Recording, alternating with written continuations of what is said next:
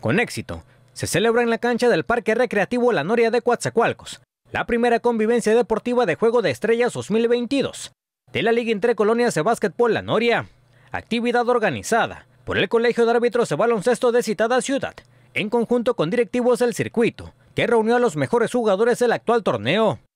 En el choque de la categoría Segunda Fuerza, la selección de experimentados derrotó 43-36 al equipo de novatos.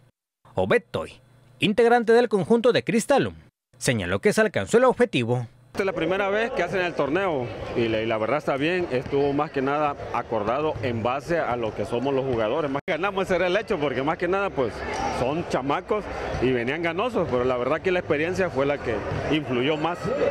Daniel García se convirtió en el ganador del concurso de tiros de tres puntos, elemento de la quinteta Independencia, que se mostró certero en la última ronda de la contienda al encestar en seis ocasiones. En esta competencia, participaron 16 basquetbolistas. Muy contento, muy feliz. Yo creo que todo esto es del, del, trabajo que he estado haciendo desde que me avisaron que iba a haber una competencia. Y a partir de ahí, mis padres, con apoyo de mis padres, vine a practicar casi todos los días, a hacer este, tiros y pues se vieron los resultados. Por último, el grupo coordinador señaló que espera repetir este evento el siguiente año. Enrique Martínez, RTV. Más deportes.